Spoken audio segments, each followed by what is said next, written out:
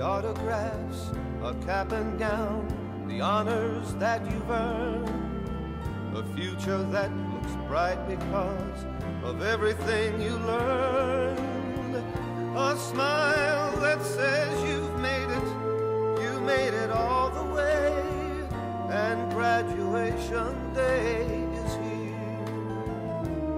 You're the best of the class this year.